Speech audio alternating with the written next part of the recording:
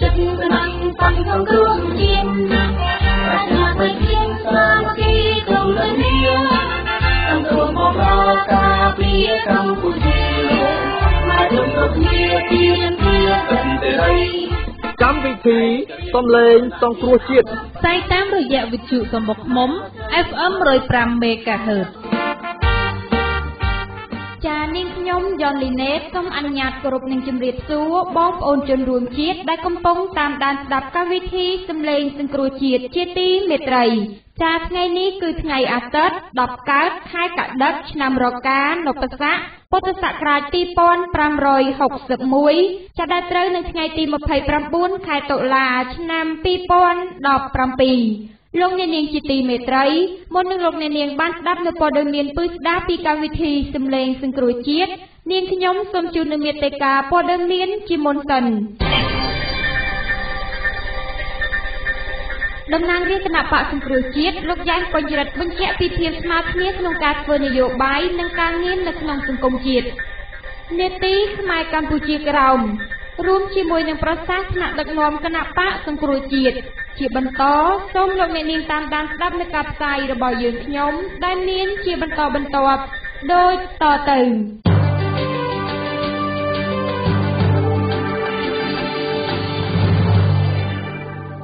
លោកអ្នកនាងជាទីមេត្រីតំណាងរាជគណៈបកសង្គ្រោះជាតិលោកយ៉ែនពេញរិទ្ធបានលើកឡើងថាភាពស្មើគ្នាដែលគណៈបកនយោបាយនីមួយៗតែងតែកំណត់គោលដៅរៀបចំផែនការយុទ្ធសាស្ត្រត្រូវមើលទៅលើសន្ទុះនៃការគ្រប់គ្រងនិងជំនឿទុកចិត្តពីប្រជាពលរដ្ឋដូច្នេះកាលណាក្រុមអ្នកដឹកនាំឬអ្នកនយោបាយរំលោភលើសេចក្តីទុកចិត្តរបស់ប្រជាពលរដ្ឋហើយនោះនឹងធ្វើឲ្យពួកគាត់មានភាពភ័យខ្លាចព្រោះក្រុមអ្នកដឹកនាំមិនបានផ្ដល់ទំនុកចិត្តជាពិសេសមិនបានដោះស្រាយរាល់បញ្ហាប្រឈមរបស់ប្រជាពលរដ្ឋបានទាន់ពេលវេលា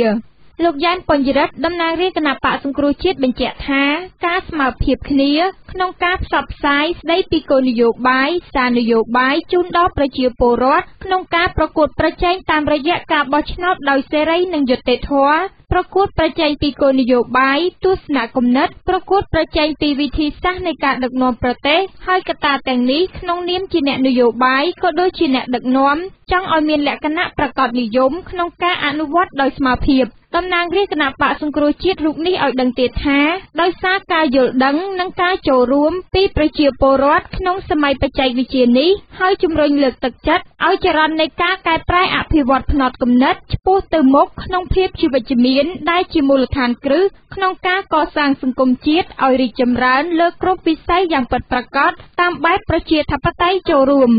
លោកយ៉ែនពេញរិទ្ធតំណាងរាជគណៈបកសង្គ្រោះជាតិបញ្ជាក់ថា ការប្រកួតប្រជែងដោយមិនស្មើភាព មិនអាចជឿជាក់បាន ជាពិសេសការមានចំនួនទាស់តែងគ្នារបស់អ្នកនយោបាយគឺពិតជានាំឲ្យខាតពេលវេលា ក្នុងការអភិវឌ្ឍប្រទេសជាតិយ៉ាងពិតប្រាកដដូច្នេះដល់ពេលហើយដែលអ្នកនយោបាយរួបរวมគ្នា ដើម្បីកសាងនាវាកម្ពុជាឲ្យឆ្ពោះទៅរកការរីកចម្រើនស្ថិរភាពសន្តិភាពសុខសុភមង្គល ដោយផ្ដោតទៅលើវិស័យសេដ្ឋកិច្ចនយោបាយជាពិសេសគោរពគ្នាទៅវិញទៅមកនិងគិតពីផលប្រយោជន៍ជាតិនិងសង្គមជាធំលោកយ៉ែនបញ្ញរិទ្ធសង្កត់ធ្ងន់ថាទស្សនៈគោលនយោបាយជាតិសំខាន់សំខាន់អាចយល់ឃើញផ្សេងគ្នា តែក្នុងនាមជាអ្នកដឹកនាំត្រូវតម្កល់ផលប្រយោជន៍ជាតិជាធំដោយដោះស្រាយបញ្ហាជាតិមាតុភូមិនិងប្រជាពលរដ្ឋខ្មែរដែលកំពុងប្រឈមនាពេលបច្ចុប្បន្នជារឿងអាទិភាព គណៈបកសង្គ្រោះជាតិសង្គ្រោះបំរើការពារអស់លោកអ្នកនាងជនរួមជាតិនិងបងប្អូនខ្មែរកម្ពុជាក្រោមជាទីមេត្រី នីតិខ្មែរកម្ពុជាក្រោមរបស់សម្លេងសង្គ្រោះជាតិនាសប្តាហ៍នេះយើងខ្ញុំសូមលើកយកនៅអត្ថបទដកស្រង់ចេញពីសៀវភៅដែលមានចំណងជើងថា កម្ពុជាក្រោមអំណាចគ្មានខ្មែរក្រោម ដែលនិពន្ធដោយលោកតឹងឆាត់បុត្រអតីតមន្ត្រីជាន់ខ្ពស់នៃក្រសួងមហាផ្ទៃព្រះរាជាណាចក្រកម្ពុជាជំពូក11វគ្គ24មកជម្រាបជូនអស់លោកអ្នកនាងជនរួមជាតិនិងបងប្អូនខ្មែរកម្ពុជាក្រោមដូចតទៅ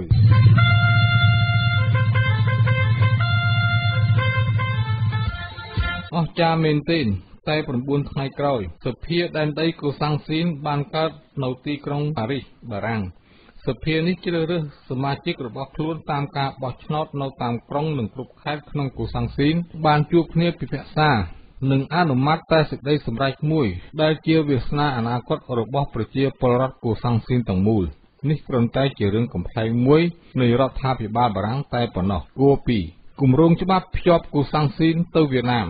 នៅថ្ងៃទី17ខែឧសភាឆ្នាំ1949 លោកអង់រីកៃនាយករដ្ឋមន្ត្រីបារាំង និងលោកពូកូសផ្លូរេ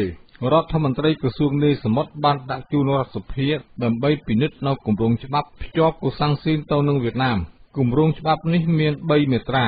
មាត្រា1នៅក្នុងក្របខ័ណ្ឌកម្រិតតាមមាត្រាទី60នៃរដ្ឋធម្មនុញ្ញសាធារណរដ្ឋបារាំង និងក្រោយការផ្ដល់យោបល់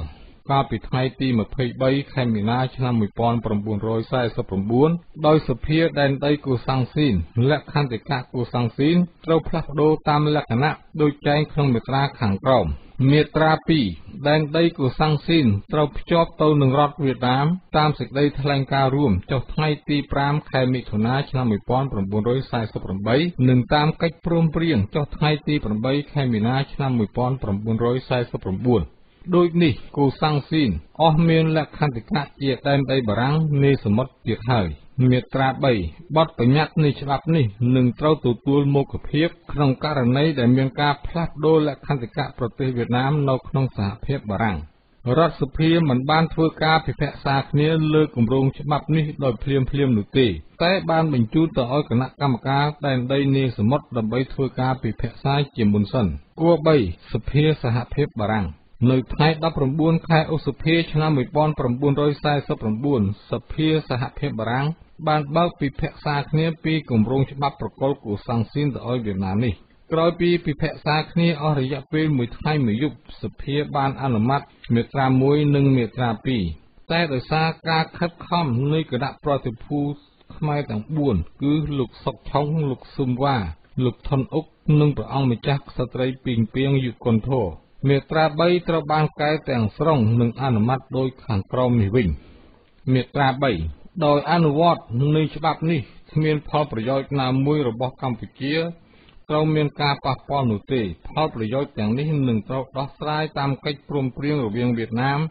និងកម្ពុជាតែមានបារាំងជាអាជ្ញាកណ្ដាលហើយចំណែកជនជាតិភេទតិចទាំងអស់ដែលនៅគូសង្ស៊ីនក៏ដូចគ្នាដែរ តាមមាត្រានេះគណៈប្រតិភូខ្មែរសង្ឃឹមថាការតវ៉ារបស់ខ្មែរទាំង3ខនឹងបានសម្រេចនៅពេលដែលយួននិងបារាំងច្បាំងគ្នាកម្ពុជានៅស្ងប់ស្ងៀមដោយមិនចង់រំខានដល់បារាំងទុកឲ្យគេមានសន្តិភាពនៅកូសាំងស៊ីនលិខិតព្រះមហាក្សត្រខ្មែរចំពោះប្រធានាធិបតីបារាំងក្នុងឆ្នាំ1949 ចាប់តាំងពីពេលនេះទៅ ដោយគ្មានមធ្យោបាយអីខាខាំងមិនអោយបារាំងប្រកុលកម្ពុជាក្រោមទៅអោយបៅដាយរដ្ឋាភិបាលកម្ពុជាក៏ខំទាមទារតែបីខប៉ុណ្ណោះគឺសិទ្ធិខ្មែរកម្ពុជាក្រោមការកែតម្រង់ព្រំដែនកម្ពុជាវៀតណាមសិទ្ធិប្រើប្រាស់ទន្លេមេគង្គនិងកំពង់ផែព្រៃនគរគួរ4សភាបារាំងនៅថ្ងៃទី21ខែឧសភា ឆ្នាំ1949រដ្ឋសភាបារាំង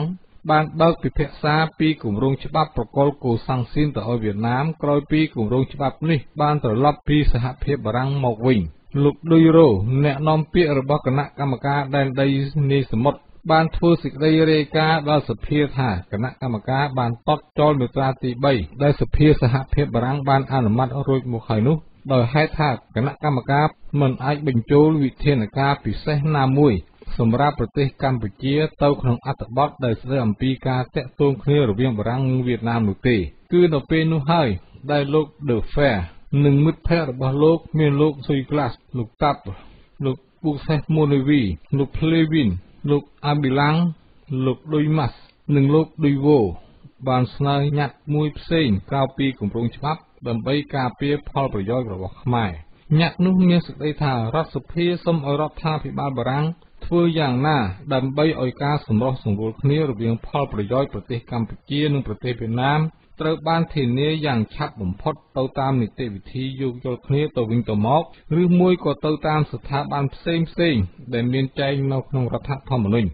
នៅក្នុងពេលនោះតំណាងរាស្ត្រមួយចំនួនបានខំស្វិតស្វាញការពារផលប្រយោជន៍ខ្មែរដែរ តែអត់បានជោគជ័យដោយលោកវីណេកាពីតុងជាដើមដែលបានខំបញ្យល់ថា ជាងផលប្រយោជន៍ទៅទៀតកម្ពុជាមានសិទ្ធិនៅកូសាំងស៊ីនជនជាតិខ្មែរភាគតិចចង់ថែរក្សា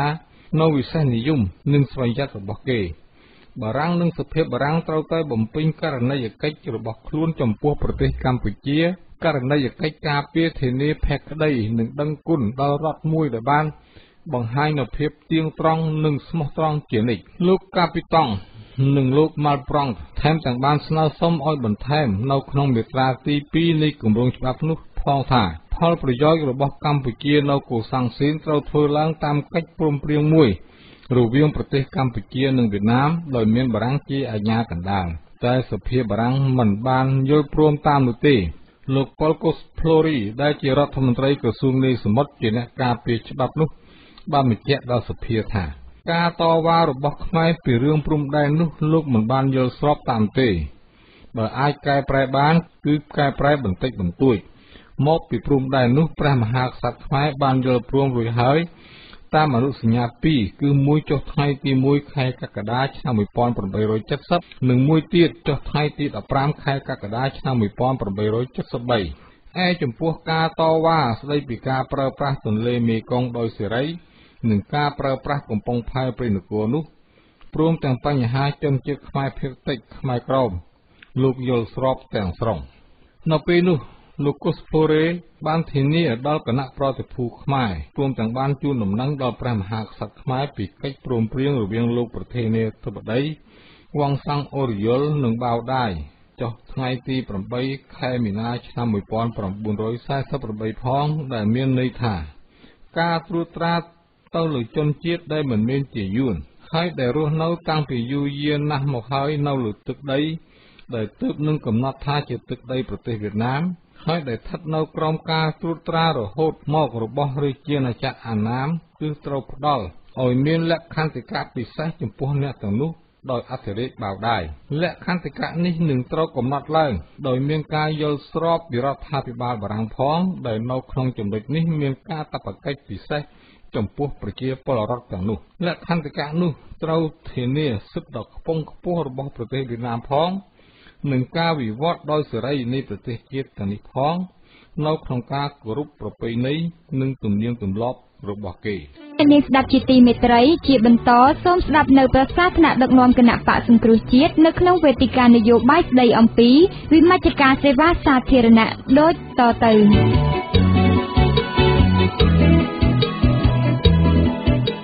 បាទមានបងអូល្អំឡើងមកវិញហើយសុំខ្លីបានហើយអឺសុំទោសហើយលោកនិគមដាបានបញ្យល់អំពីនីតិវិធីផ្នែករដ្ឋបាលគឺខ្ញុំសូមថ្លែងមកអរគុណហើយក៏ប៉ុន្តែការងារនេះខ្ញុំសូមជម្រាបជូនបាញ់មិញខ្ញុំថាលុយអភិវឌ្ឍគឺមានតម្លាភាពហើយខ្ញុំមិនអត់ថាតម្លាភាពឬអភិវឌ្ឍគឺបានត្រឹមត្រូវខ្ញុំនិយាយតែលើកលុយរដ្ឋបាលទេប៉ុន្តែការងារនេះគឺជាតុកទី1គុំវិធីធំខ្ញុំដឹងច្បាស់ បាទលុយស្អីគឺខ្ញុំដឹងច្បាស់តែម្ដងព្រោះអាដឹងច្បាស់តែចាយនឹងតម្លាភាពឯងបានជាខ្ញុំតវ៉ាពេលប្រជុំម្ដងម្ដងខ្ញុំតែតវ៉ាខ្ញុំតែតថាប៉ុន្តែគេមិនព្រមគេមិនព្រមមកយកមកអនុវត្តបាទសូមអរគុណ បើមានបងប្អូនណាមានបញ្ហាប្រឈមអីត្រូវលើកឡើងទៀតទេបាទសូមគោរពជ័យលោកសូមខ្លីៗហើយជួយប្រាប់ឈ្មោះមកពីភូមិណាឃុំណា មានបន្ថែមទៀតទេបាទពីពីរូបអញ្ចឹងចំពីគាត់ទៅអ៊ំបាទសូមជ័យជិះបងសូមគោរពអាដាមសូមគោរពសមាជិកសមាជិកអត់ពីគោរពបាទអឺខ្ញុំសូមជម្រាបខ្ញុំថាវិបញ្ហាវិមជ្ឈការនៅមូលដ្ឋាន ដូច្នេះខ្ញុំមិនចង់និយាយឲ្យបានវែងឆ្ងាយច្រើនទេគាត់ថាជាអនុសាសន៍ជាអនុសាសន៍អ្វីកន្លងមកខ្ញុំសូមជម្រាបឈ្មោះខ្ញុំឈ្មោះគ្រុយសខេមរិទ្ធចៅសកាត់រងទី2នៅសកាត់ទូសកែ បាទខ្ញុំសូមជម្រាបអានេះជាការកន្លងមកពីវិមជ្ឈការបច្ចុប្បន្នវិមជ្ឈការបច្ចុប្បន្ននេះវាជាវិមជ្ឈការទេប៉ុន្តែវាមិនពិតប្រកបនៃវិមជ្ឈការនោះឡើយមិនបានថាមិនពិតប្រកបព្រោះវិមជ្ឈការស្អីណាកន្លងមកឲ្យស្អីវិមជ្ឈការនឹងមានតែអត្រានគរឋានមួយគត់ដែលឲ្យមកសកាត់ធ្វើអញ្ចឹងណា វិផលលំបាកដែលលោកលោកមេឃុំដែរលោកមេឃុំក៏បានលើកឡើងអញ្ចឹងហើយគាត់ជាមេឃុំពីអាណត្តិមកហើយអញ្ចឹងបានគាត់លើកឡើងនេះខ្ញុំសូមឯកភាពវាសំខាន់យើងត្រូវពិចារណាខ្លួនយើងយើងច្អល់គេមួយមកយើង3បាទដូច្នេះយើងត្រូវគិតធ្វើយ៉ាងម៉េចជុំអាលោកលេខុំដាលើខ្ញុំឯកភាពយើងត្រូវសិក្សាបាប់រដ្ឋបាលគុំសកាត់នឹងឲ្យច្បាស់ទួនាទីចៅសកាត់ធ្វើអីចៅរងមួយធ្វើអីចៅរងពីរធ្វើអីខ្ញុំពិនិត្យមើលឃើញរយៈកាលកន្លងមកគឺពួក កាន់អំណាចបានឲ្យទេការងារប៉ុន្តែច្បាប់មានគ្រាន់តែយើងអត់ចេះប្រើមិនបើថាយើងមិនចេះប្រើយើងអត់ហ៊ានយើងខ្លាចបើយើងច្បាក់ចិត្តធ្វើបកប្រឆាំងកុំស្ដាយជីវិតយើងត្រូវតែហ៊ានតស៊ូមតិតស៊ូទៅយ៉ាងម៉េច បើសុំឲ្យឯងដូច្នេះយើងត្រូវស្គាល់ទួនាទីរបស់យើងចៅរងមួយថ្ងៃខាងសេដ្ឋកិច្ចបើមិនឲ្យអញធ្វើអញចុះធ្វើខាងផ្នែកសេដ្ឋកិច្ចទៅមូលដ្ឋានកាលណាយើងចុះទៅធ្វើនៅមូលដ្ឋានគឺដាក់ឲ្យយើងចុះទេវាខ្លាចបាក់មុខវាដែរ ឃើញទេបើយើងមិនចុះទៀមទាលុយគេទេយើងត្រូវបញ្យល់ជាប្រវត្តិច្បាស់ក្នុងនាមខ្ញុំចៅស្កាត់រកទី1ខ្ញុំទទួលទុកខាងសេដ្ឋកិច្ចដូច្នេះនៅមូលដ្ឋានរបស់ខ្ញុំនោះខ្ញុំត្រូវក្តាប់ឲ្យបានតើសកម្មកម្មមានបានរោងចក្រមានបានអាជីវកម្មមានបានហើយតាមផ្សារនេះពីណាយកលុយខ្លះគឺបើយើងចុះអញ្ចឹងប្រកាសជាវាឲ្យយើងអង្គុយកន្លែងមកសនុកស្រួលបាទព្រោះកន្លងមកយកកាលកន្លងមកខ្ញុំបាទបានធ្វើអញ្ចឹង ដូចអញ្ចឹងសកាត់ខ្ញុំទួតកែនេះបើនិយាយទៅគេថាមិនសូវមានផលលំបាកទេវាផលលំបាកមួយគឺផលលំបាកថាយើងមិនបានទទួលផលពីអាសេវាក្រៅអាសេវាក្រៅអាសេវាសាធារណៈពួកគេនេះគេធ្វើគេបិទយើងប៉ុន្តែបើយើងចេះធ្វើយើងរកឃើញគឺគេខ្លាចយើងដែរបាទអានេះហើយខ្ញុំនិយាយទៀតពីបញ្ហាអានេះខ្ញុំសូមនិយាយពីបញ្ហាដែលថាការតស៊ូមតិជាមួយពួកគាត់ណា បើបងដូចខ្ញុំបានលោកលោកអឺទៅទុកទីមួយគាត់និយាយចឹងគេថា6នាក់យើង6នាក់ណា6ទល់នឹង5រឿងអីឲ្យអា5ជ្រះអញតែលោកយើង5ពីរចឹងយើងអត់ឯកភាពគ្នាយើងអត់យល់យើងបែកជើងគ្នាយើងត្រូវគិតថា យើងណា6មិនអោយអញដឹងរឿងអញអត់អាម៉ាត់ទេថាបកាយក៏ដោយអត់អាម៉ាត់ហើយមិនអោយអញដឹងដោយលោកនិគមនិយាយចឹងថាបញ្ហាស្ពាតទៅធ្វើបាយការមិនមែនទៅទៅរបាយការសូមវិក័យប័ត្រផងអរបាយការមានក៏វិក័យប័ត្រដែរតែលោកវាបំផោនទូលេខរកការចំណាយណាដូចចឹងយើងទៅបើឯងអត់ថាអញអត់ប្រជុំទី1ទី2អញអត់អនុម័តថាការបាទអាហ្នឹងចឹងដើម្បីបញ្ជាក់ឲ្យច្បាស់បើខ្ញុំជឿថាពួកវាមិនស្បារឿងម៉ានេះបាទបើឯងរឿងអញចោលខ្សែពួកខ្ញុំពីមុនមកខ្ញុំមិនបានការងារគឺខ្ញុំតស៊ូទៅទេ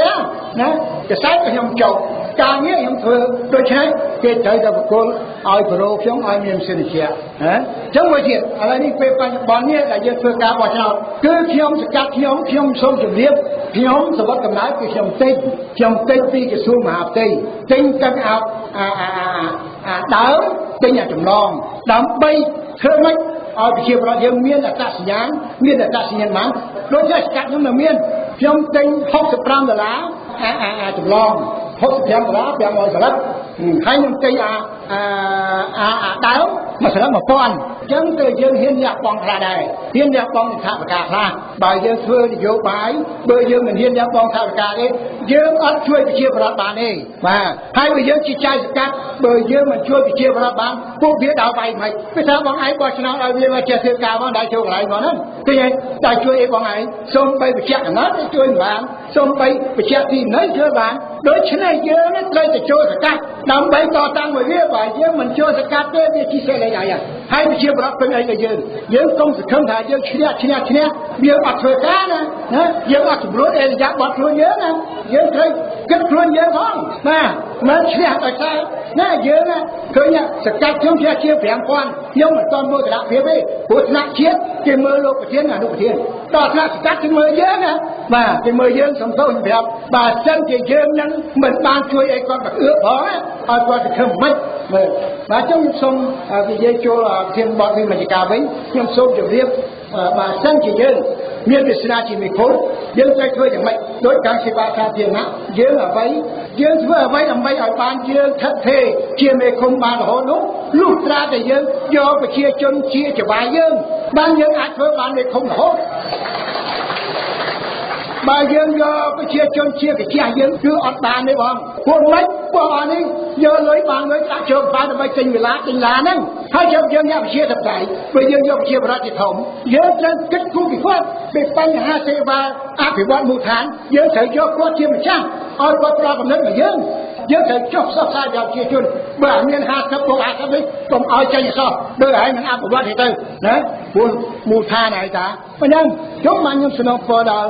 បើសិនជាយើងមានវាសនាគ្រប់គ្រងទៅជាប្រទេសជាតិទាំងមូលសូមឲ្យលោកប្រធាននិងលោកអនុប្រធាននិងសមាអឺលោកតំណាងរាស្ត្រទាំងអស់និងអាយដាមទាំងអស់សូមធ្វើយ៉ាងណាធ្វើការតាមដានបើសិនជាយើងអត់មានការតាមដានមូលដ្ឋានទេមូលដ្ឋាននេះចេះតែអួតហើយហើយបើ អឺ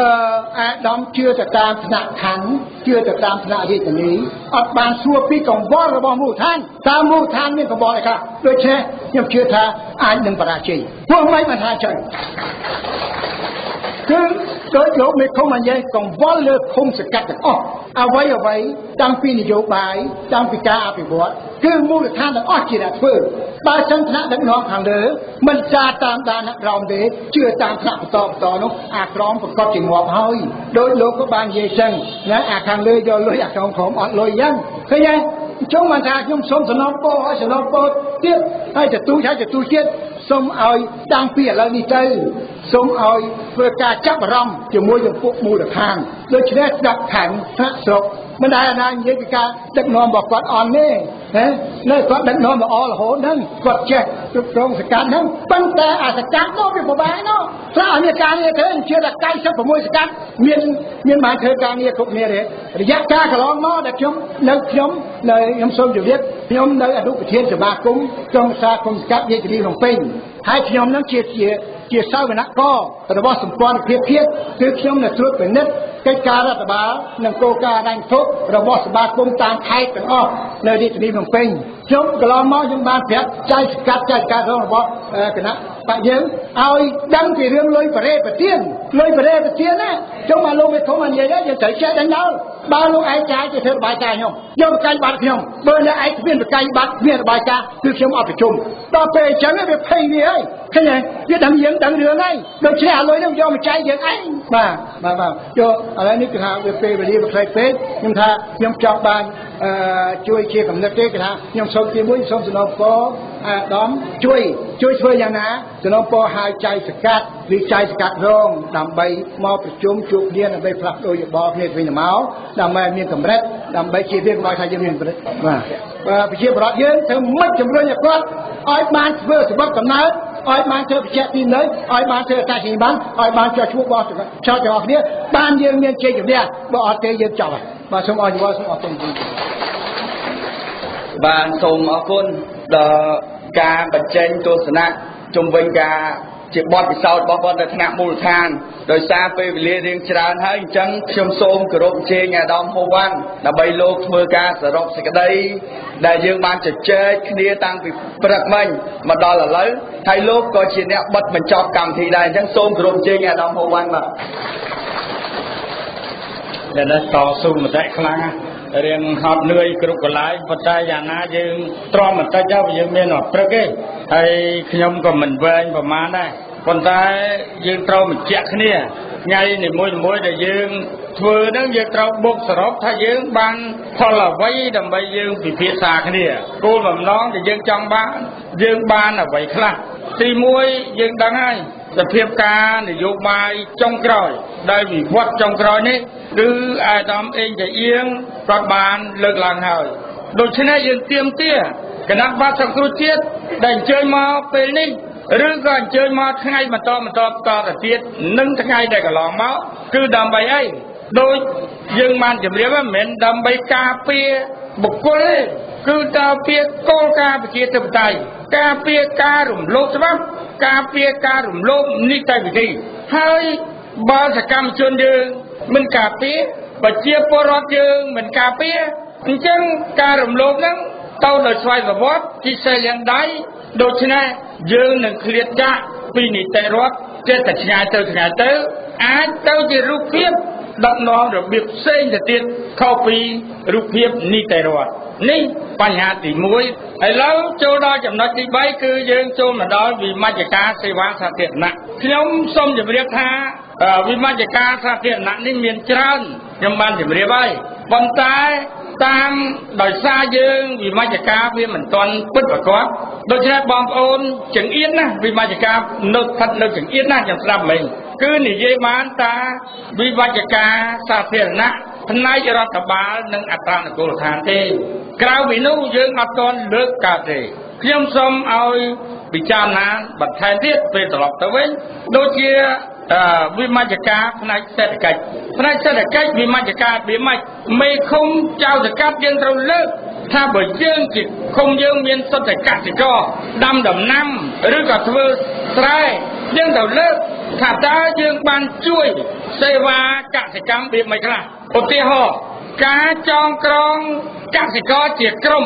មានប្រយោជន៍ណាស់បងប្អូនហើយនឹងណាបើសិនតែមេឃុំយើងធ្វើវិមជ្ឈការប្រធានភូមិយើងធ្វើវិមជ្ឈការក្រុមប្រឹក្សាឃុំសកាត់យើងធ្វើវិមជ្ឈការយើងអាចចងក្រងចងក្រងប្រជាពលរដ្ឋជាក្រុមចងក្រងជាពលរដ្ឋជាក្រុមមានប្រយោជន៍ពីរយ៉ាងធំទី1ក្នុងការផ្សាយបច្ចេកទេសថាតើយើងត្រូវដាំស្រូវអីត្រូវយកពូជអីត្រូវយកបច្ចេកទេសអីត្រូវដាក់ជីវាម៉េចនឹងមួយមួយទៀតនៅពេលដែលយើងលក់ផលិតផល អាក្រុមសាមគ្គីរបស់កសិករនេះរបស់អ្នកដាំដំណាំនេះអាហ្នឹងឯងវាកំណត់ថ្លៃថាតើឆ្នាំនេះយើងគួរលក់តម្លៃស្រូវរបស់យើងប៉ុន្មានលក់តម្លៃប្រឡងមីប៉ុន្មានលក់តម្លៃពោតសណ្ដែករបស់យើងប៉ុន្មាននេះជាជាវិមជ្ឈការមួយទៀតដែលឃុំសកាត់ត្រូវតែធ្វើ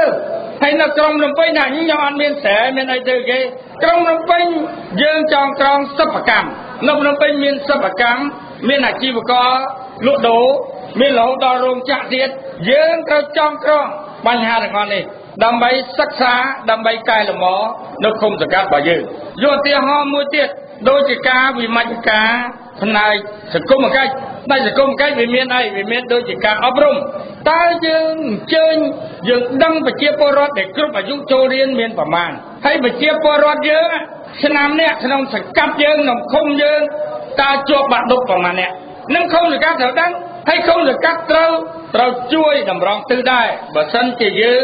មានមធ្យោបាយរងទិសថាមានព័ត៌មានច្រើនណាតាក់ទងនឹងទៅរៀនមហាវិទ្យាល័យមិនចឹងដូច្នេះយើងសង្គមកិច្ចហ្នឹងបើឃុំសង្កាត់មានគណៈកម្មការអប់រំធម្មតាយើងមានគណៈកម្មការនៅក្នុងឃុំសង្កាត់មានគណៈកម្មការបច្ចេកទេសគណៈកម្មការអភិវឌ្ឍគណៈកម្មការសង្គមកិច្ចគណៈកម្មការរដ្ឋបាល ដែលយើងបាននិយាយគ្នាខ្ញុំមិនបាច់បង្រៀនឡើងវិញទេប៉ុន្តែខ្ញុំចង់និយាយនេះដើម្បីឲ្យយើងចេះមកឲ្យឲ្យចេះដូចជាបញ្ហាសុខាភិបាលនឹងក៏យើងត្រូវតើឃុំសកម្មយើងវិមជ្ឈការទៅយើងជួយបានប៉ុណ្ណាជួនកាលឃុំខ្លះអត់មានជួម៉ាយអីប៉ុន្តែគាត់មានរថយន្តមួយដឹកប្រជាពលរដ្ឋដោយមិនយកថ្លៃនេះជាការជួយវិមជ្ឈការរបស់ឃុំសកម្មយើងខ្លាំងណាស់ប៉ុណ្ណឹងគឺទុកជាទុកជាសេវាមួយនេះ ក្នុងនាមយើងមេឃុំហើយយើងនិយាយនេះដើម្បីអីមិនដើម្បីឥឡូវទេហើយក៏មិនដើម្បី2017ដែរយើងនិយាយដើម្បីធ្វើគោលនយោបាយដែលគណៈបកសង្គ្រោះជាតិធ្វើជានាយករដ្ឋមន្ត្រីកាន់រាជរដ្ឋាភិបាលតើយើងធ្វើវិមជ្ឈការលើបញ្ហាទាំងអស់នេះរបៀបយ៉ាងណារបៀបយ៉ាងណានេះដែលយើងត្រូវលើកដែលសពថ្ងៃយើងកំពុងជួបការលំបាកឥឡូវខ្ញុំសង្ខេបបន្ថែមទៀតឥឡូវនេះខ្ញុំសូម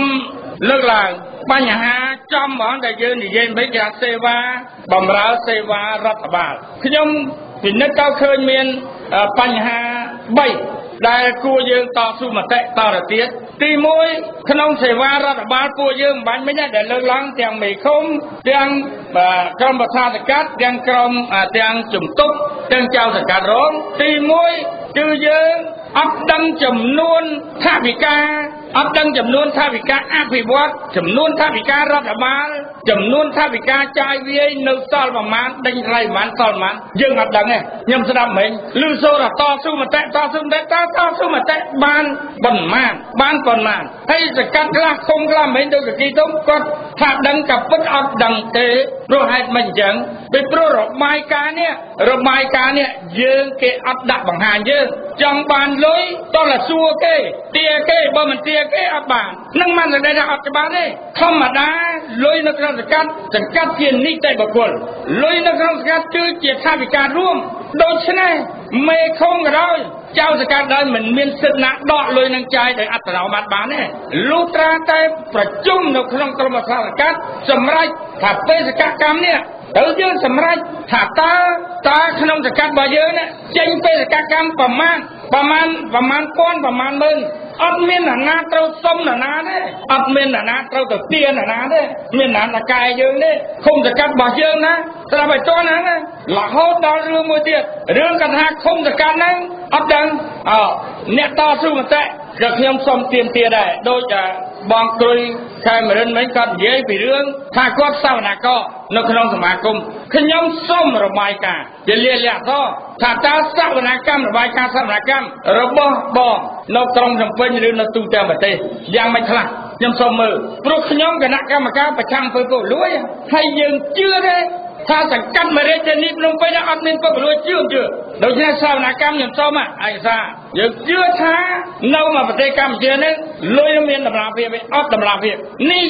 ចំណុចដែលយើងចង់បានលើចំណុចទី1ចំណុចទី2ខ្ញុំឃើញនៅពេលវេលាពេលវេលាបងប្អូននិយាយស្មុគស្មាញណាស់អត់ច្បាស់ទេយើងត្រូវប្រជុំក្រុមប្រឹក្សាសង្កាត់ក្រុមប្រឹក្សាឃុំរបស់យើងកំណត់កំណត់មកបិទនៅខាងខៀនមកបញ្ជីជាតិប្រមាណថ្ងៃហើយបិទតែច្បាស់ធ្វើការរាល់ថ្ងៃយើងសម្រាប់នឹងកើតអាហ្នឹងសមុទ្រមរណភាពប្រមាណថ្ងៃហើយតម្លៃវាប្រមាណបើហួសពី5 10ថ្ងៃប្រមាណនិយាយហើយអានេះខ្ញុំសូម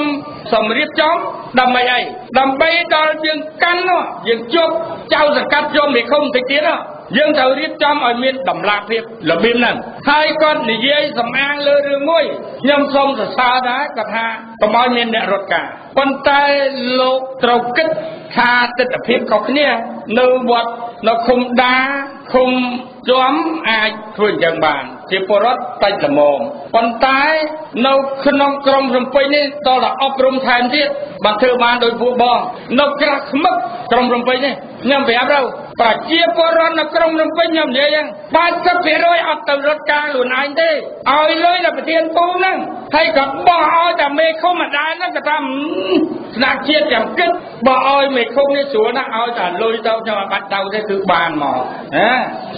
ប្រព័ន្ធនៅភ្នំពេញ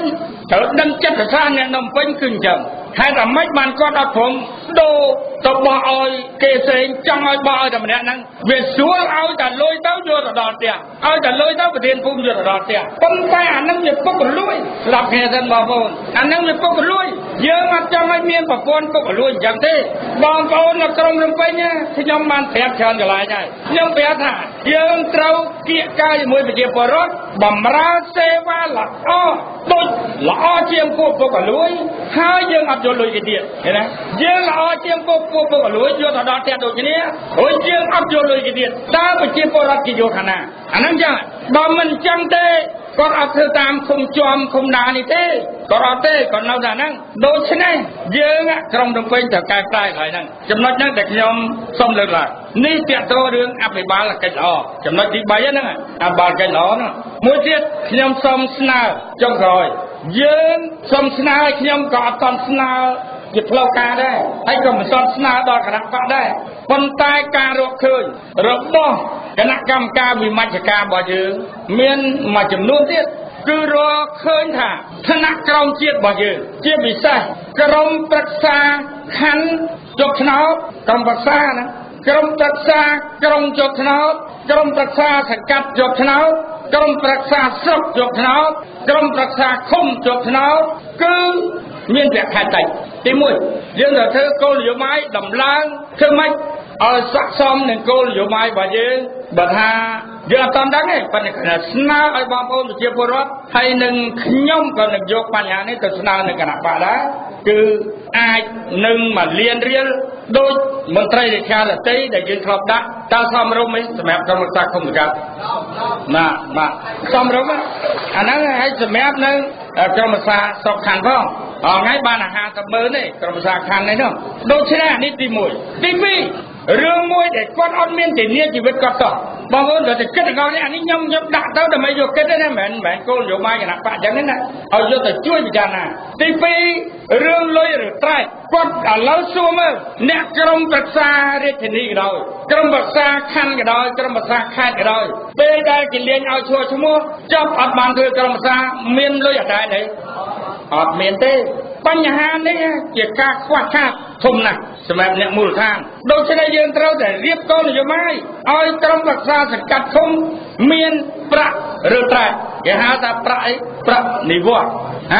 ណាប្រាក់ប្រាក់ចូលនិវត្តន៍ដើម្បីគាត់ចាស់ទៅគាត់បំរើសង្កាត់មកអាយុហើយ តែចាស់ទៅអត់មានលុយមួយរៀលសោះគេមន្ត្រីនានាដែលបំរើហ្នឹងដូចជាស្មានអីគេមានលុយរត្រាច់គេទៅជាឯងធំជាងស្មានទៀតអត់មានអីហ៎វាចាជប់ឆ្នោតដល់ប្រជាជនទៀតអត់ដូច្នេះខ្ញុំថ្ងៃនេះគឺខ្ញុំស្នើសូមឲ្យមានគោលនយោបាយរត្រាច់គេហៅចូលនិវត្តន៍ដល់ថ្នាក់ក្រមជាតិជាក្រមរក្សាបើគេមន្ត្រីនៅក្នុងហ្នឹងហ្មងគេអត់អីទេមិនចឹងហ៎ មន្ត្រីនៅសាលាក្រុងឯងគេមានលុយអត់មានលុយគេក៏គាត់ណាប៉ុន្តែក្រុមប្រឹក្សារាជធានីក្រុមប្រឹក្សាខណ្ឌក្រុមប្រឹក្សាខេត្តក្រុមប្រឹក្សាស្រុកក្រុមប្រឹក្សាក្រុមអត់មានលុយរដ្ឋាទេដូច្នេះត្រូវរៀបចំគោលនយោបាយនេះអានេះជាការសេចក្តីស្នើរបស់ខ្ញុំជាបញ្ចប់ខ្ញុំ ឃើញទស្សនវិជ្ជាថ្ងៃនេះគឺល្អហើយពីព្រឹកដូច្នេះខ្ញុំយល់ថាទស្សនវិជ្ជាវេទិកាថ្ងៃនេះវេទិកាវិមជ្ឈការគុំសកាត់ហើយដែលប្រធានបទថ្ងៃនេះនិយាយពីវិមជ្ឈការសេវាសាធារណៈឃើញថាមានការផុសផុលមានឃើញថាបងប្អូនយើងតស៊ូមតិបានច្រើនហើយថ្នាក់ដឹកនាំរបស់យើងក៏យកចិត្តទុកដាក់កត់ត្រាហើយនឹងឆ្លើយឆ្លងបានល្អប្រសើរដូច្នេះជារួមខ្ញុំសូមកោតសរសើរដល់វេទិកាវិមជ្ឈការថ្ងៃនេះហើយយើងសង្ឃឹមថាថ្ងៃក្រោយយើងនឹងរៀបចំកាន់តែបានល្អទៅល្អទៅហើយជាចុងបញ្ចប់សូមជូនពរសុខភាពល្អជ័យជំនះអញ្ជើញទៅផ្ទះវិញបានសុវត្ថិភាពគ្រប់គ្រប់គ្នាសូមអរគុណបាទ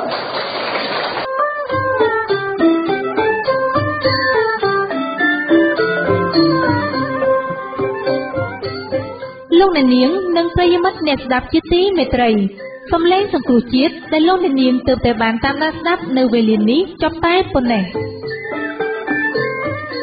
សំឡេងសង្គ្រោះជាតិសូមអំពាវនាវដល់បងប្អូនប្រជាពលរដ្ឋគ្រប់មជ្ឈដ្ឋានគ្រប់គ្រងគណៈបកសង្គ្រោះជាតិឲ្យបានច្រើនកកដើម្បីអនាគតរបស់យើង កូនចៅយើងនិងប្រទេសជាតិរបស់យើង ធីសំឡេងសង្គ្រោះជាតិរងចាំទទួលនៅការបញ្ចេញមតិនិងការលើកឡើងជុំវិញបញ្ហាទាំងឡាយរបស់បងប្អូនសូមអញ្ជើញទូរស័ព្ទមកកាន់លេខ092 69 79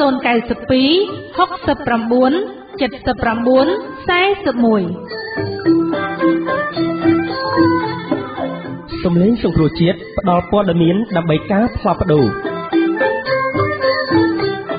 សូមជម្រាបលា